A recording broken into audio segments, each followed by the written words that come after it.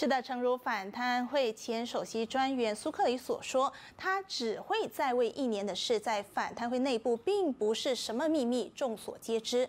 不过，他也提到，由始至终，现任首席专员拉蒂花这个名字都不曾出现在他的替代人选名单里。但事态发展至今，米已成炊，苏克里也就不必先支持拉蒂花掌舵反贪会。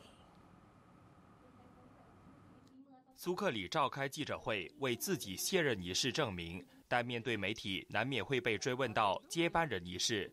苏克里坦言，当初曾向首相建议两名熟悉反贪会运作的资深官员接棒，敦马当时的反应是不置可否的，而他本人也是直到六月四号觐见元首和政府首席秘书后，才知道接班人是拉蒂花。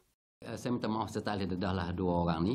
Tapi saya maklumkan kepada dua orang ni bahawa nama you ni saya forward kepada saya apa saya hantar pada Tun. Dan untuk pengetahuan you orang semua, pasal saya nak shorten my contract ni bukan perkara yang rasa-rasa di kalangan pegawai-pegawai saya masa tu.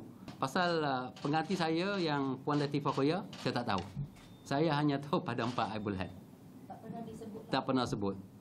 苏克里认为，如今米已成炊，与其花时间议论拉蒂花的任命或首相的决定，他反倒认为应该支持拉蒂花领导反贪会，同时也赠了这名反贪之花几句谏言：Do the right thing and do it right。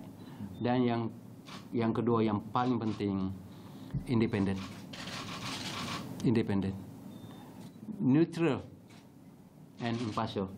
Maksudnya jangan menyebelah mana-mana pihak. This very important. Dan akhir sekali Tuan Wan, without fear and favor. Jangan takut ditekan. Jangan takut pressure. Jangan malah jangan takut dibuang sekalipun. Tapi jangan tunduk kepada pressure. Kena ada ciri-ciri ini. And then saya percaya she will be a good leader. She will be a good leader.